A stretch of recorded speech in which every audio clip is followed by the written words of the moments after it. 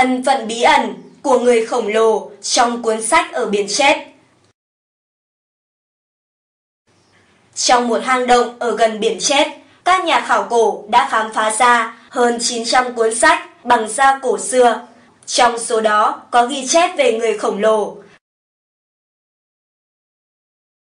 Hang động Khoan Ran nằm ở phía tây bắc biển chết, là một địa điểm khảo cổ nổi tiếng và ẩn chứa nhiều bí ẩn chưa có lời giải. Tại nơi đây, năm 1947, một người chăn cừu Bedouin tình cờ phát hiện ra những cuốn bản thảo cổ xưa.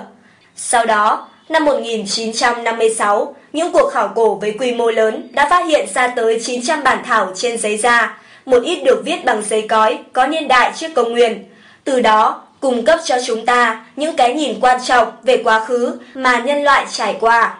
Ngoài những bằng chứng khảo cổ, chứng minh nơi đây là nơi cư ngụ của giáo phái Do Thái cổ, Essenis, các nhà khảo cổ còn phát hiện một cuốn sách bí ẩn bất thường, cuốn sách về sự sụp đổ của người khổng lồ Nephilim. Họ gọi nó là The Book of Giants, cuốn sách về những người khổng lồ.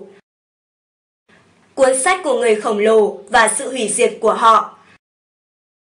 Người khổng lồ Nephilim xuất hiện trong cuốn Book of Enoch của người Do Thái. Theo sách chép, Enoch chính là ông tổ của người khổng lồ. Cuốn sách đề cập tới lịch sử của người khổng lồ, nhưng là một bức tranh ảm đạm vì họ phải đối mặt với sự hủy diệt khi họ đã gây hại cho trái đất. Enoch chính là ông tổ của người khổng lồ. Cuốn sách đề cập tới lịch sử của người khổng lồ, nhưng là một bức tranh ảm đạm vì họ phải đối mặt với sự hủy diệt khi họ đã gây hại cho trái đất. Book of Enoch miêu tả Nephilim Maway, con trai của thiên thần Barakel, sau đó đã mơ thấy giấc mơ tiên tri về lụt lội, sự hủy diệt của trận Đại Hồng Thủy. Các Nephilim, Oia và Haia, con trai của thiên thần Sa Ngã, Shemiaja, cũng có những giấc mơ tương tự. Rồi nhiều người khổng lồ khác cũng có chung điểm báo. Điều này làm các Nephilim bắt đầu nhận thức được tương lai của mình và cầu cứu Enoch. Nhưng lúc này, ông đã rời khỏi trái đất.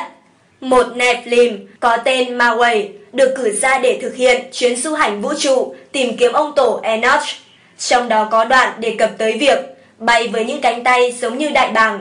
Kết thúc chuyến du hành, Maway gặp được Enoch và cầu xin ông giúp đỡ người Nephilim. Nhưng họ đã phải trả giá cho những hành động mà mình gây ra.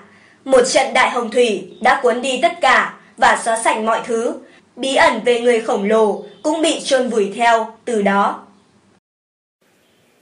News, kênh thông tin giải trí chọn lọc. Hãy đăng ký để không bỏ lỡ bất kỳ bản tin hấp dẫn nào.